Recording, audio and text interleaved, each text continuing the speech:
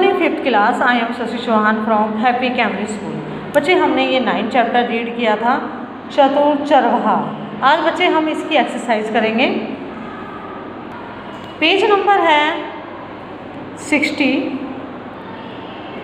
Question two सही उत्तर पर सही टिक का निशान लगाओ। इस कहानी का उचित शीर्षक चुनिए मनवा और उसकी भेड़े। या फर की टोपी या मनवा की चतुराई। तो बच्चे, इसका आंसर होगा मनवा की चतुराई। घुड़सवार का घोड़ा क्या देखकर डर गया? छड़ी देखकर, फर की टोपी देखकर या मनवा को देखकर? तो बच्चे, इसका घोड़ा फर की टोपी देखकर डर गया था। और बच्चे उचित शीर्षक ये क्यों होएगा? क्योंकि मनवा की चतुराई क्योंकि इसमें मनुआ की, इस चैप्टर में मनुआ की चतुराई देखी गई है। थर्ड पे आते हैं हम। मनुआ छड़ी पर टेक लगाकर खड़ा क्या सोच रहा था? तो बच्चे, वो क्या सोच रहा था? भेड़ों के विषय में, पहली के जवाब के विषय में या टोपी के विषय में? तो बच्चे, वो पहली के जवाब के विषय में सोच रहा था। घुड़सवार को कैसा उत्तर पाकर प्रसन्नता हुई? सही, गलत या चलाकी भरा? तो बच्चे घुड़सवार को चलाकी भरा उत्तर पाकर प्रसन्नता हुई। नेक्स्ट है, घुड़सवार ने मनमा के जवाब से संतुष्ट होकर उसे क्या दिया?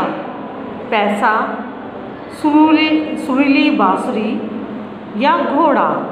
तो घुड़सवार ने बच्चे सुरीली बांसुरी दी थी मनवा को। एक बार फिर देखो।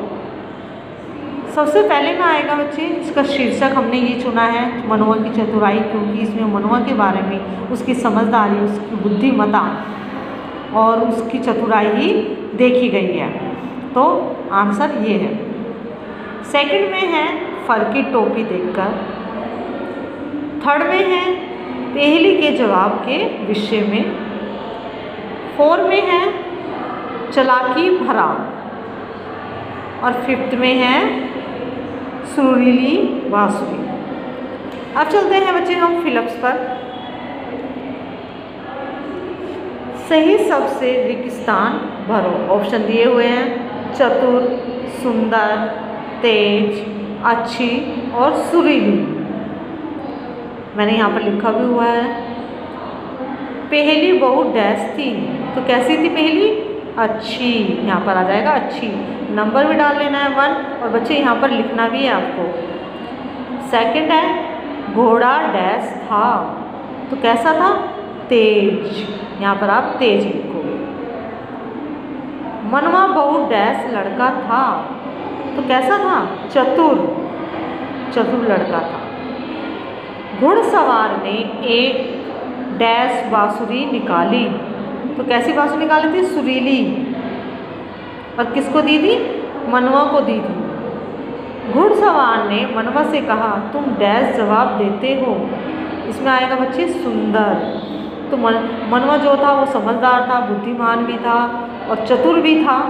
तो वो कैसा जवाब देते थे वो? घुड़सवार को कैसे जवाब लगे?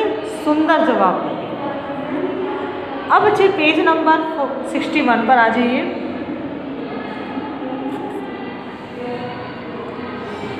फोर क्वेश्चन है। सही कथन पर सही तथा गलत कथन पर गलत रोंग का निशान लगाओ। मनवा ने अपनी कमी ज़मीन पर फेंक दी। नहीं बच्चे, उसने छड़ी और फर की टोपी फेंकी थी बच्चे। कमीज नहीं फेंकी थी तो इसमें रोंग आएगा घुड़सवार ने पहली का जवाब दे दिया। नहीं तो रॉन्ग आंसर लिखेंगे हम यहाँ पर। मनवा, पहली बूझने पर बहुत खुश हुआ। तो बच्चे राइट आंसर आएगा। खुश हुआ था। घुड़सवार ने मनवा को बहुत सारा धन दिया। Wrong answer. है ठीक है? पहले में है रॉन्ग सेकंड में रॉन्ग थर्ड में राइट है फोर में रॉन्ग है। अब बच्चे वाक्य बनाने हैं। आप छोटी क्लास से वाक्य बनाते आ रहे हो तो बच्चे ये वाला क्वेश्चन आप खुद करोगे अपनी बुक में, ठीक है? आपने आज लाइव क्लास में भी बहुत सारे वाक्य बताए थे, बहुत अच्छे वाक्य बताए थे। तो अपने ही वाक्य यहाँ पर लिखोगे आप। चुपचाप का, मैदान, पहेली बुद्धिमता और मधु। आगे आता है, एक वचन से बहुवचन बनाओ। बच्चे, एक वचन, एक चीज़ होती है। बहुवचन, बहुत सारी। जैसे आप जानते हैं, हिंदी में दो वचन होते हैं, एक वचन और बहुवचन। और आज संस्कृत में बच्चे तीन होते हैं, एक वचन, द्विवचन और बहुवचन। तो यहाँ पर हिंदी में एक वचन को बहुवचन में करना है, जैसे क्वेश्चन में लिखा हुआ है। तो छड़ी का कैसे हो जाएगा? छड़ियाँ। टोपी का टोपियाँ। बस मात्राओं का ध्यान रखना है। जब हम बहुवचन बना रहे हैं पै पे छोटी की मात्रा आ जाएगी। इसी तरह छड़ी, डै पे छोटी की मात्रा। आगे है घोड़ा तो घोड़ा का बहुवचन जाएगा घोड़े, यानी कि बहुत सारे घोड़े। भेड़ का भेड़े। ये भी आपको अपनी बुक में करना है। आगे आते हैं भाववाचक संख्या से विशेषण बनाओ। जैसे कि विनम्रता का क्या हो जाएगा? विनर प्रसन्नता का पर्सन अमीरी का अमीर। गरीबी का गरीब। बुढ़ापा का बूढ़ा।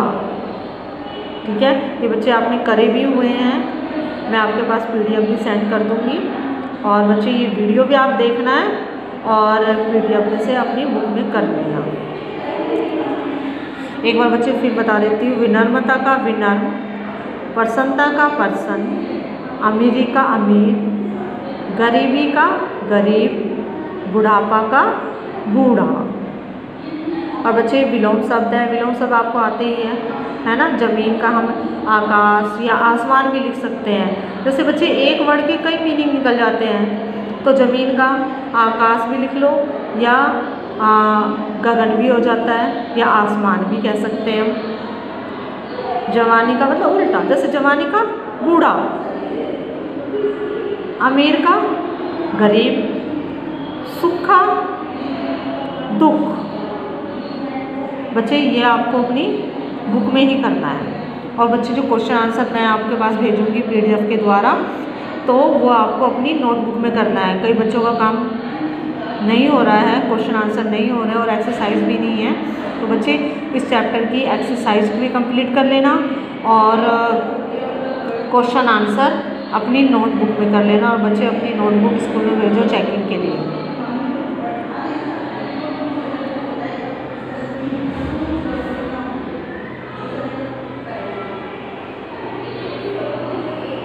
Thank you